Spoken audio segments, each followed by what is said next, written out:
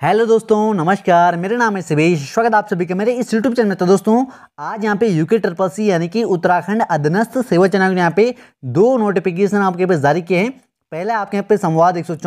और दूसरा आपके पे संवाद एक सौ पैंसठ। ठीक है? तो दोस्तों क्या क्या है आपके यहाँ पे ये दोनों नोटिफिकेशन पूरी जानकारी हम इस वीडियो में जानेंगे। तो आप इस वीडियो को शुरू से लेके अंत तक ज़रूर देखें। तो दोस्तों, सबसे पहले हम बात करेंगे आपके यहाँ पे संवाद एक के बारे में। इसका आपके पे विषय है राज्य सरकार द्वारा आयोग के अभ्यर्थियों को चयन में आवेदन शुल्क को माफ़ किए जाने के आदेश के संबंध में। तो दोस्तों, जैसे कि आप सभी को यहाँ पे मालूम होगा कि आपके यहाँ पे राज्य सरकार द्वारा शासन देश आपके यहाँ पे जारी हो चुका है तीन अक्टूबर 2021 को, जिसमें आपके यहाँ पे कहा गया है कि कोविड 19 के प्रभाव के कारण इकतीस मार्च 2022 तक आवेदन शुल्क में पूर्णतः आपके यहाँ पे छूट रहेगी। ठीक है, अतः दिनांक तीन अक्टूबर दो हज़ार इक्कीस के बाद आमंत्रित किए जाने वाले आवेदनों में अब अभ्यर्थियों को कोई भी शुल्क यहाँ पे नहीं देना होगा। और आयोग द्वारा इसे दिनांक 1 अक्टूबर 2021 को जारी किए गए विज्ञापन संख्या डेड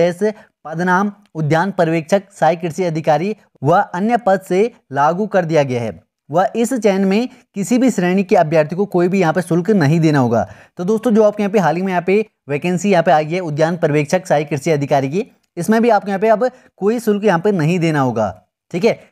तो दोस्तों ये आप सभी के लिए यहाँ पे काफ़ी अच्छी गुड न्यूज़ है अब दोस्तों आपके यहाँ पे कोई भी यहाँ पे विज्ञापन यहाँ पे जारी होंगे उसमें आपके यहाँ पे कोई भी शुल्क यहाँ पे नहीं देना होगा अब आप यहाँ पे फ्री में यहाँ पे फॉर्म भर सकते हैं अब दोस्तों जैसे कि आपके यहाँ पे उत्तराखंड पुलिस की यहाँ पे भर्ती आने वाली है और काफ़ी सारे अभ्यर्थी यहाँ पे इस पद के लिए यहाँ पे आवेदन करेंगे तो दोस्तों आप यहाँ पे उस पद के लिए यहाँ पे फ्री में यहाँ पे आवेदन कर सकते हैं इसके साथ साथ आपके यहाँ पे एसआई की पोस्टें भी आने वाली है तो दोस्तों बहुत सारी यहाँ पे नई वैकेंसी यहाँ पे आने वाली है ठीक है तो दोस्तों उसमें आपके यहाँ पे कोई भी आवेदन शुल्क आपके यहाँ पे नहीं देना होगा तो ये आप सभी के लिए यहाँ पे काफ़ी अच्छी खुशखबरी है ठीक है अगला नोटिफिकेशन आपके पे संवाद एक सौ पैंसठ इसका आपके विषय है विज्ञापन संख्या डेड एस सहायक लेखकार परीक्षा में की जा रही आपत्तियों के संबंध में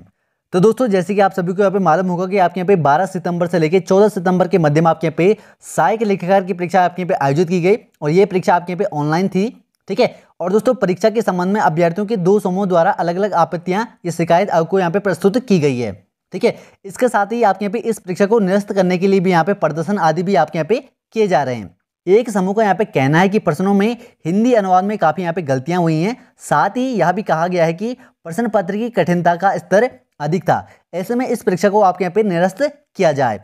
वहीं दूसरे समूह द्वारा आपके यहाँ पे अनुरोध किया जा रहा है कि परीक्षा व प्रश्न पत्र में इतनी दिक्कतें नहीं थी, उन्हें निरस्त किया जाए। राज्य सरकार की सेवा में चयन के अनुरूप प्रश्न पत्र का स्तर सही थी, ठीक है? ऐसे में परीक्षा निरस्त ना किया जाए, ठीक है?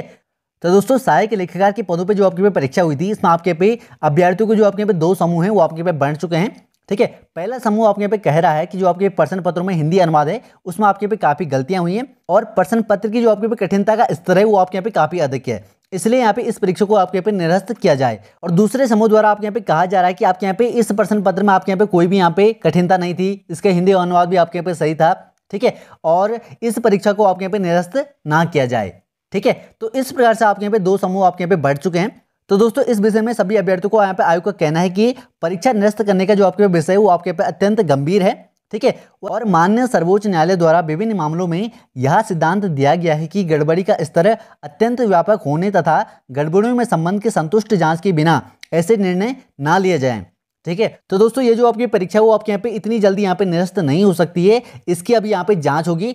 आगे यहाँ पे आयोग का कहना है कि इस मामले में अभ्यर्थियों द्वारा हिंदी अनुवाद आदि आपत्तियों का परीक्षण विषय विशेषज्ञों की टीम द्वारा आपके यहाँ पे कराया जा रहा है। वह विशेषज्ञों की आख्या के उपरांत ही इस संबंध में स्थिति स्पष्ट होगी। ठीक है? तो दोस्तों, आयोग द्वारा यहाँ पे, विषय विशेषज्ञों के द्वारा यहाँ पे, हिंदी अनुवाद वाली आपत्तियों में यहाँ पे, जो आपके पे निराकरण है, वो आपके यहाँ पे किया जा रहा है। अगर आपके यहाँ पे हिंदी अनुवाद वाली आपत्तियों में यहाँ पे आपत्ति पाई जाती है तो उसका आपके यहाँ पे जाँच की जा रही है। और दोस्तों, जब आपके यहाँ पे स्थिति स्पष्ट होगी, उसके बाद दोस्तों, आयोग यहाँ पे इसका फैसला लेगा। ठीक है अभी आपके यहाँ पे ये परीक्षा यहाँ पे निरस्त नहीं होगी अभी इसकी यहाँ पे जाँच यहाँ पे कराई जा रही है